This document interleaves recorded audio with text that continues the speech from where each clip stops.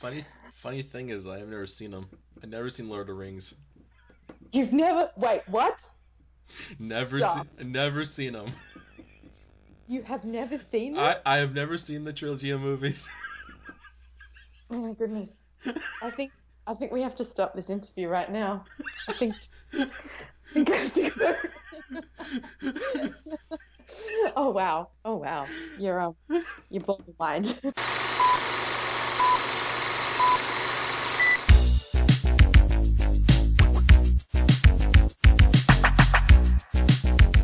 Hello, welcome to Cinema Talk. I'm your host, Mike Mixtape, and this is a show where I interview online personalities and get to know them personally on a deep down level.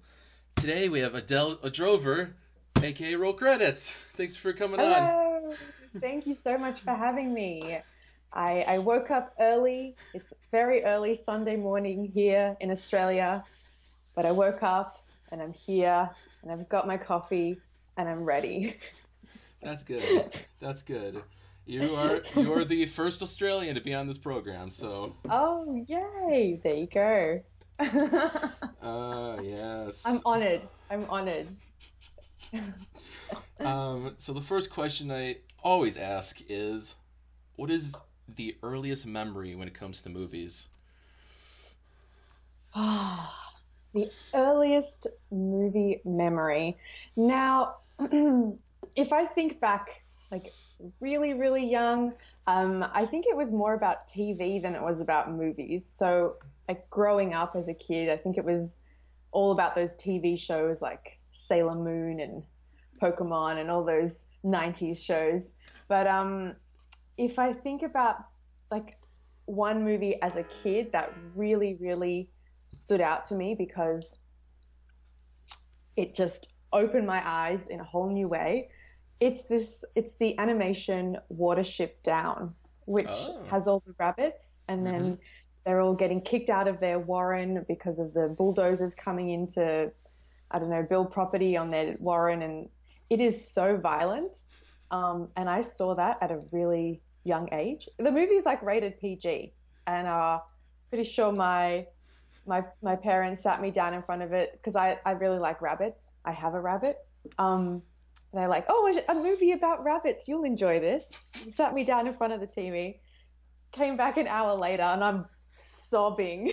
it is so violent and bloody and terrifying for a kid, but it was definitely a movie that uh, I will never forget. God. Oh my god. I'm just trying to imagine that. Just like, oh my traumatic. god. Very traumatic. Jesus. Yeah. Especially for But a little was- kid. Yeah, totally. But it kind of, um, I don't know, kind of just really changed my, the way I thought about movies and and uh, and that to give like new perspectives, even as a kid. You know, seeing something I've never seen before was pretty fascinating. Yeah.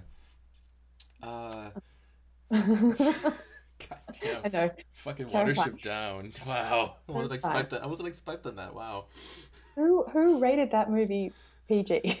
Well, the rating system back then was so different compared to now. Like, it's because yeah, PG like for that it's like oh my god. I mean, most of like PG thirteen didn't come out until like the late '80s or like mid '80s. So, and then Rated R came out later on. So, Right. it was interesting to see how animated movies got got their ratings. Have they um retrospectively re-rated that movie? Because I wonder if there's any other children out there who've been scarred for life by watching Watership Down. No, there probably be a handful. There probably will be. Um, so, what was the movie that got you into films in general? Like, you want to know behind the scenes. You know, you look at the all that stuff and the. yeah, yeah, well, that's an easy one. Uh, that's definitely an easy one. It's The Lord of the Rings. And I've actually talked about this you before. did. You Uh, did. you did. I know that you did a video on that. I'll probably link that I- video for people who are watching this so they can I cl- click it. Because I was watching it too, and I was like, "Dang it, that's the question I want to ask you," but just like. Lord Oh of the yeah. Rings. Well, you can go see that video if you want to see like a whole rant about Ah. my obsession with Lord of the Rings and how it just it was really pivotal for me because it just happened at that time in my life where I was 12, I was 12 years old and just learning about the world. And I kind of like Watership Down, I'd just never seen a movie that had created a whole fantasy universe the way that that movie did. And um, yeah, I was just really interested in it technically, like how they achieved it all. Uh, and then went and watched all that behind the scenes bonus footage um, and collected the DVDs as they were coming out and just watched hours and hours of interview footage and how they did all the prosthetics and how they built all the locations and the sets and uh, yeah, all the actors and everything. Yeah, it was fascinating. Anyway, that was definitely the movie that uh, that changed it all for me. And I, I was like, yes, this is what I want to do. I want to be in movies. Like, I want to work in movies. funny, funny thing is, I have never seen them. I've never seen Lord of the Rings. You've never wait what? Never, se- never seen them. You have never seen them? I, I have never seen the trilogy of movies. oh my goodness. I think I think we have to stop this interview right now. I think I think I have to go. oh wow. Oh wow. You're um you're blowing my mind. I dropped a bomb on you, but yeah, I just never like I, I appreciate Peter Jackson. Like I've seen his other works, his early work. Like, oh my god, I've seen his early work. Like oh my god, like don't get me started on like Meet the Feebles or Brain Dead or oh his yeah. his early stuff just blew my mind. Like I was watching Brain Dead with a friend of mine and that especially the end, like what the fuck Peter Jackson? Crap. He has a strange mind, doesn't he? He, he has such a strange mind, especially his but then he gets into his fantasy work, which I mean, I can appreciate. I'm not a huge fan of fantasy, but I mean, but Lord of the Rings is like super long too. like like like so long. It's like do I have it's to so long. It's like do. I have to watch the whole thing? It's like uh, I, yeah, and then the extended editions as well. They're like an additional hour. I think the Return of the King is like three hours and forty five minutes. It's like super long. Yeah. I love it. I just like want to spend more time in the in the world in the universe he's created. And I'm like, I would I would like an extended extended edition, a director's cut extended edition. what, um, what do you think about the Hobbit? Oh, the Hobbit. Oh well. I don't know why that movie was three movies. I think that was a massive cash grab to like split that into three movies. But um, yeah, no, I wasn't a huge fan. Okay. I, I enjoyed it. I, I watched them and I I enjoyed them because I like the world and I like the universe. So I just just enjoyed spending a, a bit of time there and having a, a a movie there. But at the same time, yeah, the movie itself wasn't a great movie.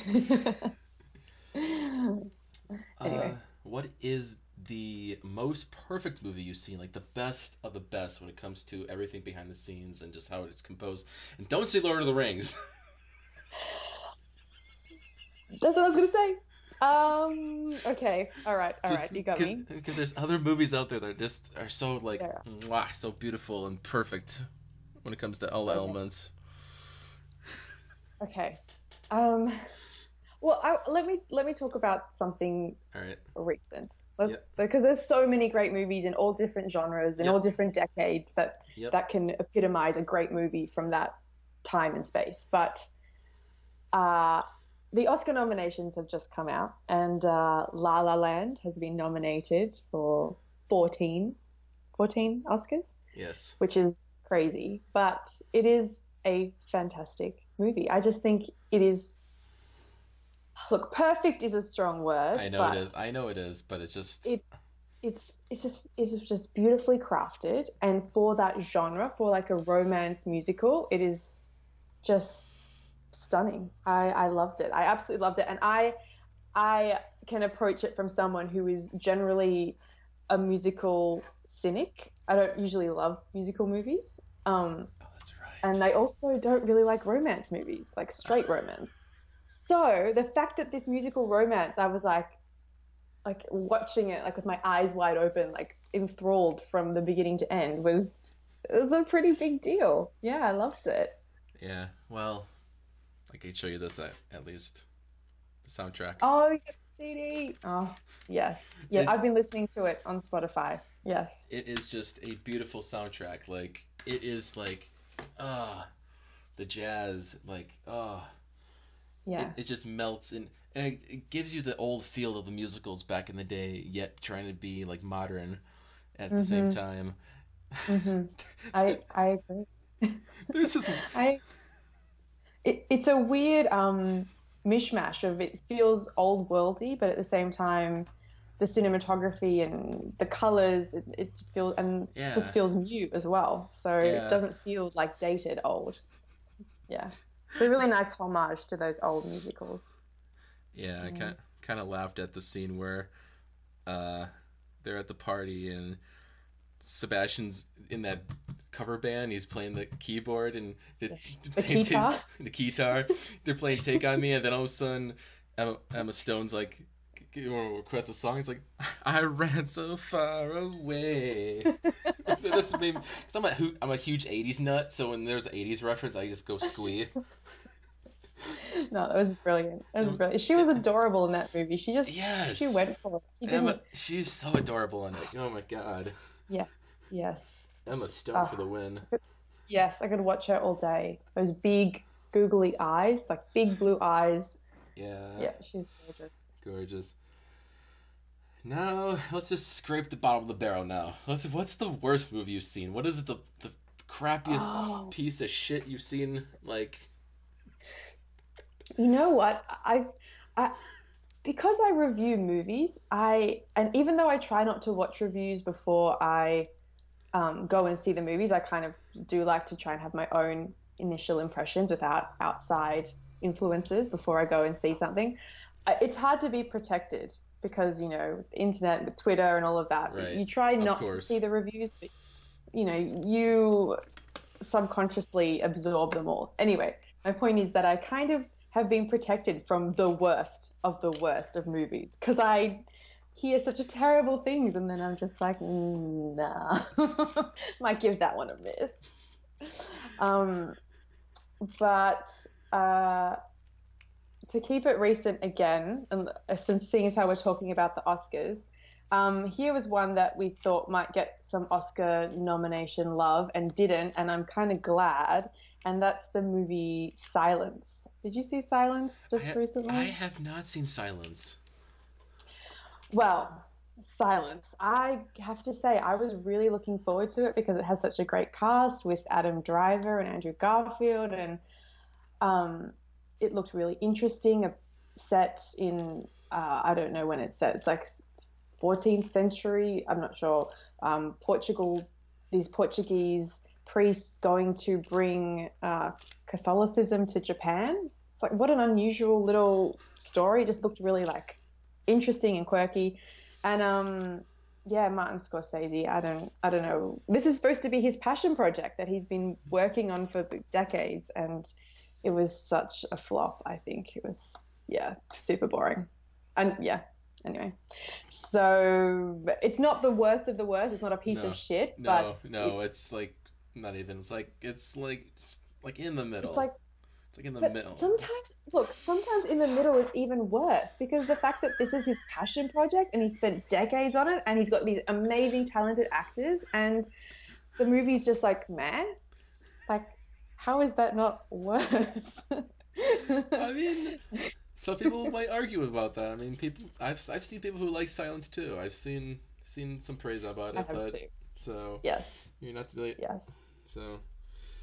No, it wasn't the worst thing ever. No, I just, no, right. I, I, I especially from such an incredible director. director. Yeah. Um, I was definitely expecting something a little bit more special or interesting. Maybe Anyway. maybe he's losing his touch. Who knows?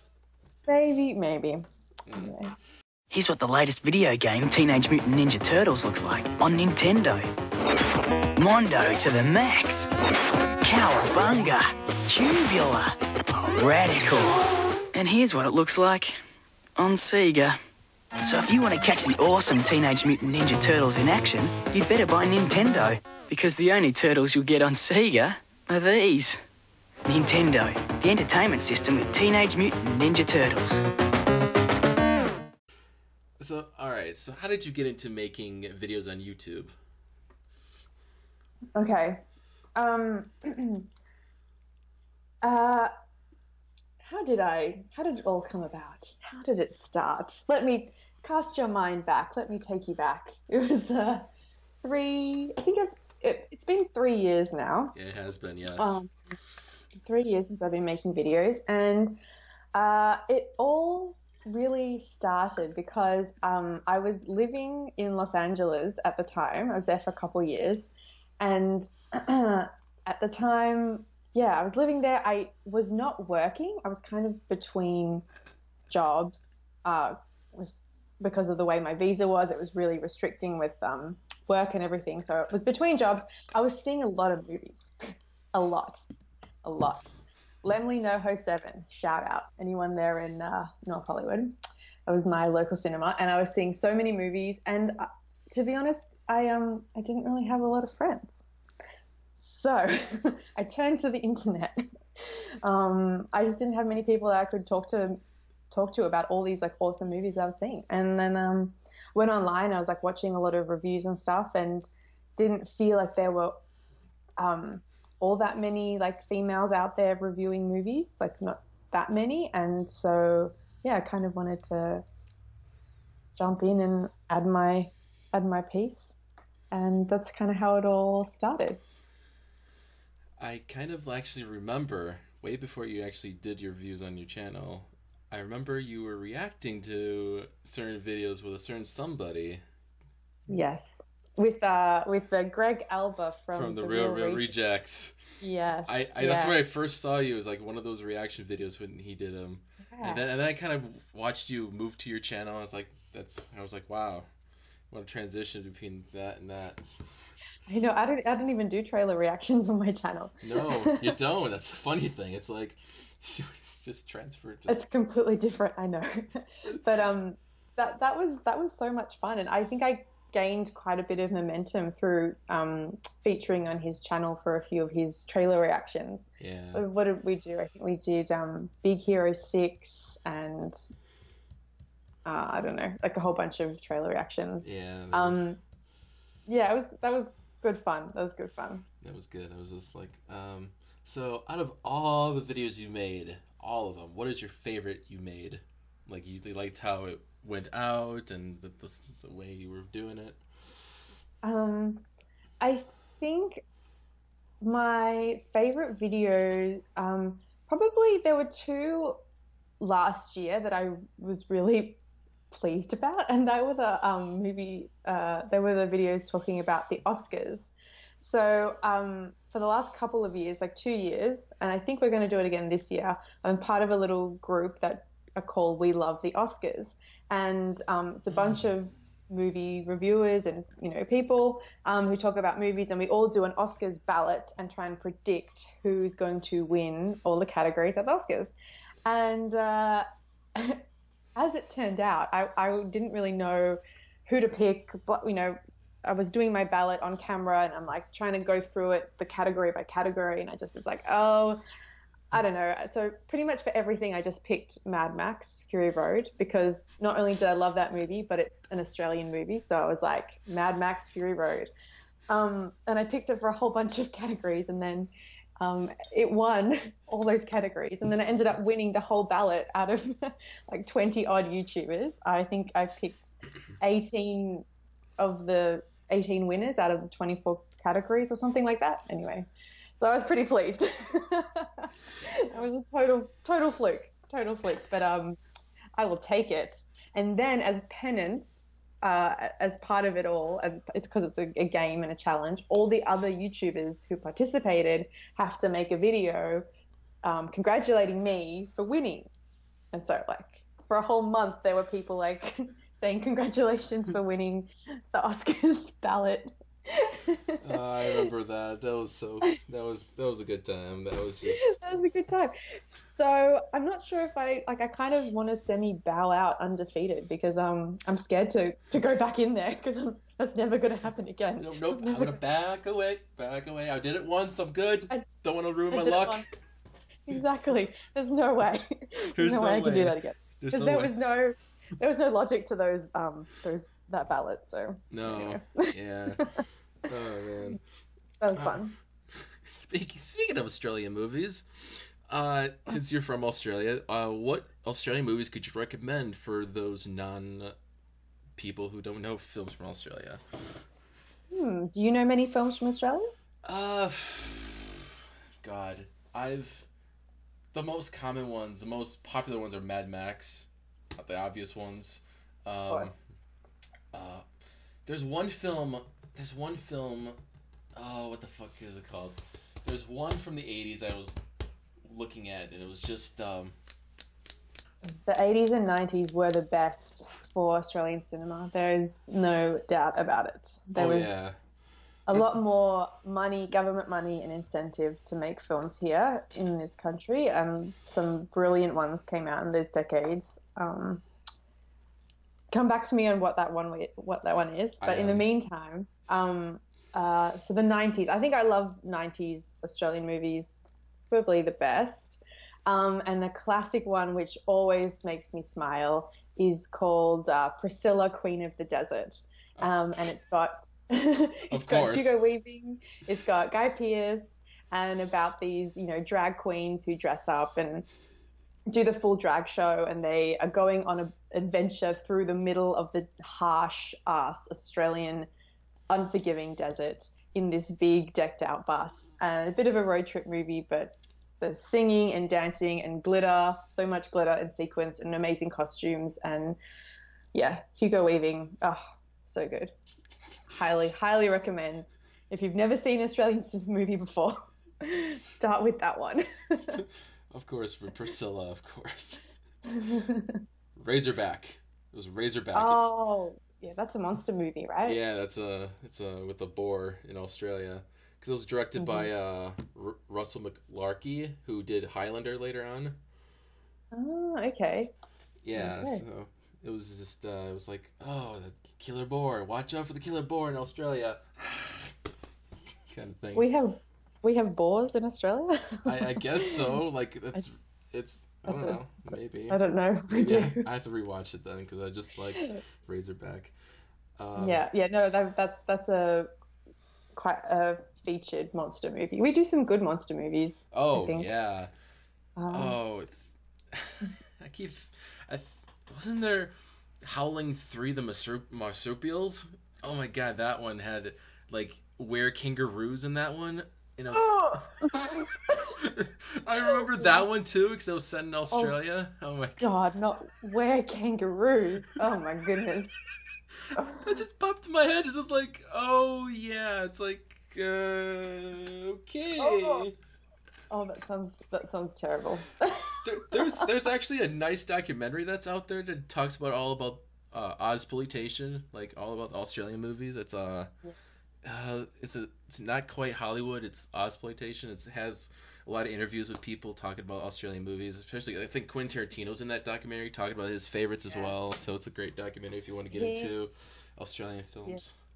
Quentin Tarantino is a huge fan of Australian cinema. He was here last year promoting The Hateful Eight, and I went and saw him um, do a talk, and he's just such a huge um, fan of yeah Australian cinema, especially of that era, like the '90s, Yeah. um, '80s, '90s. I think that's uh, he grew up on a lot of films, um, Aussie films from that time. Yeah. What's your favorite director? Ooh. Favorite director? Oh, that's that's way too tough. Way too tough. Uh, one of them that I really enjoy is Wes Anderson. I just love Mm. his mind. I just Mhm. think he's just he his his slate of movies just all have a similar quality, and I just feel like, yeah, he opens up a world in a really funky, um, alternative way. So I really, I always get a kick out of his films. Yeah, he's he's pretty uh cool with when he does with his movies. I've only seen like Fantastic Mr. Fox. I have yet Mm. like just yet to see his other work. I'm working on. it. I'm only 27. I'm working on watching all all the movies in the world. I'm getting there, Oh, people. there's- There's, so many. There's so many I need to catch up on. I mean, I will eventually watch Lord of the Rings. I will promise you that. See, but this is the thing though, like with some movies, with some movies, there there are time and a place, and you watch it now, and you know the CG's dated a little bit, and you know it, it was it was the t- it was 2001. That was the time. right. I understand that. I mean, I mean, I- I'm always going to feel nostalgic about them, but um, yeah, I don't know. I'd be interested to see how they resonate now to first-time viewers. yeah, that'd be cool. I mean, I've I've seen so many bad movies. I've seen so many like special effects of bad CGI, and I mean, I can't be worse than that. So it's just no, Gollum's pretty good. You know, didn't he win some awards? Um, That was- yeah, Andy, Serkis won awards for yeah, that. Andy Serkis, yeah. Is, is there any upcoming movies you're excited to see? yeah, actually, yes, there's one that I'm very, very excited. Well, currently, I'm making my way through the um, Best Picture nominations of- for the Oscars. Right. um, because there's quite a few that I haven't seen out of that list. Um, and one of the ones that I think I'll really, really, really enjoy, which I s- I'm going to try and watch today, maybe tomorrow. It's um, Manchester by the Sea. Oh, okay. Yeah, I think they'll win a few things. I mean, just from what I've heard, the buzz has been pretty tremendous, and yeah, I am really looking forward to that. Have you seen that one? I have not. I Mm. Have you I- seen many of the Oscars?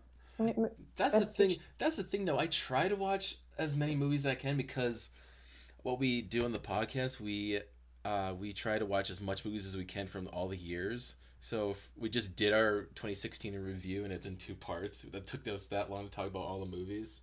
Yeah, I saw them. It's like an hour each. Yeah.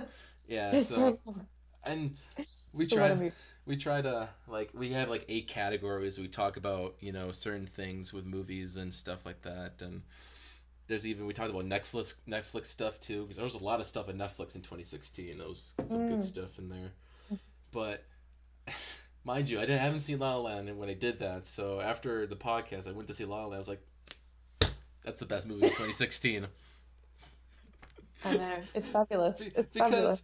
because I saw the Jungle Book. I, I was a huge fan of the Jungle Book last year, Loved and it. Loved I, it. and I, I just had a emotional connection to it. I was crying in the theater because I grew up with the original movie, so mm. I just Yeah. loved it for what it was. And Manchester by the Sea, I just I saw it and I was looking at the trailer. It's like, do I really watch that? I mean, I know it's Casey Affleck. He's doing his thing, and but it's not my cup of tea. Like I'm very picky when it comes to movies.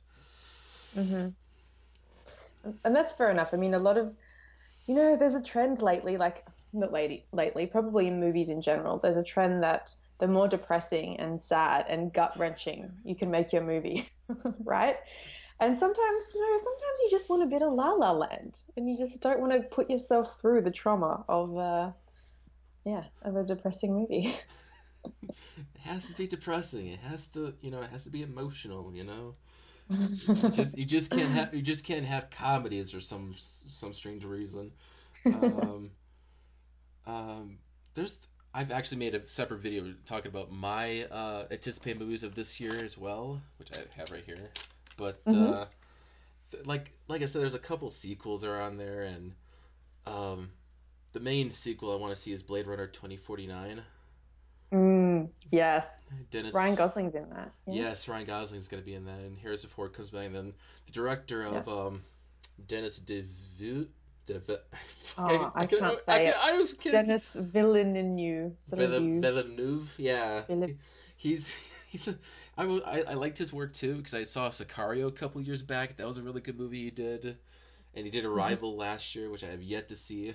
Um, so I'll kind of see what he does with the sequel for Blade Runner. There's um, da, da, da, da. Well, well, there was a couple other ones that uh, Spider-Man: Homecoming is another one I want to see. Uh, Yeah, looking forward to that. Uh, Guardians of the Galaxy Two.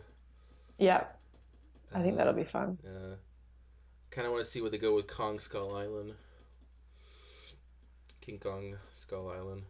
Mhm. Um, kind of kind of intrigued about the Ghost in the Shell with Scarlett Johansson. I don't know. People are like really controvert, very controversial. Like, oh, you're whitewashing. You can't have a white actress play a. It's like, Oh, God. yeah, calm down. calm Uh, down. oh. I mean, I do believe there is such a thing as whitewashing, but also it's um, it's a Hollywood movie. You know, it's not like it's. Uh, I, I don't really want to get into it. It's it's a whole it's a whole conversation. It, it, it is. It's just it's so stupid. It's, I just like it's ridiculous. So ridiculous. I tell you. Um, yeah, there's a lot of good movies. Um, actually, that's that's a video that I'm working on myself. I'm doing the the top ten um, anticipated movies for 2017. Hmm. Is that one of your upcoming videos you're working on? Why? It sure is. Jeez, you're teasing it. You're just teasing us because that's that's one of the questions. Like, yeah, any upcoming videos besides that? yeah, I am. Um, that's what I'm actually working on now. And yeah, the, I mean, some of the movies you just mentioned are on there, and it's more like a an overview of just some things I'm looking forward to. Yeah. Um, and then some of the movies I mentioned are movies that we don't even know anything about that have only kind of Oh, just- those. Yeah, those. you know where you just know the director and the talent and you don't even really know what it's about. But um, That's true. Yeah. Yeah, I don't don't even touch those because I just want to. I was like, I don't know. I was like, I want to see like. No, but that's, But- that's, that's, that's, that's speculation. It's like I think you know I trust this director. I think these actors are good. So hopefully what they do is good. But just don't, want to trust it, trust it because you know. It might be a letdown in the end. no, this is well, this is true. This is the movie gamble that we'd live by. Shake those dice and see what happens. exactly. Um, uh, any animated movies uh, last year did you really enjoy? Um, I finally just watched Moana. Oh, Um, okay.